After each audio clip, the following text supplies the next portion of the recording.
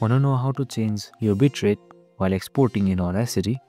Well, in this video, I'm going to show you an easy step-by-step -step guide on how to do so. So let's get right into it. Now first up, open up Audacity and then import any track that you like. Now to export the track, go to File, Export Audio and then select Export to your computer. Now once that's done, you can select your file name, folder and also format uh, i'll just select wave for now. And now you can also select channels. And here is the sample rate this sample rate defines your bitrate. So for this you can go lower for lower bitrate and higher for higher. It is a, the higher the better but i'll just go for mid-range right here. So for this video we're gonna lower it let's say 16000 hertz.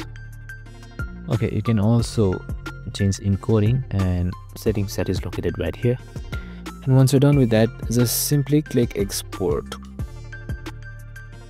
And then your files would be exported after a while. And that's it. I hope this video helped. If it did make sure to like subscribe and tune in with us for more related videos. See you in the next one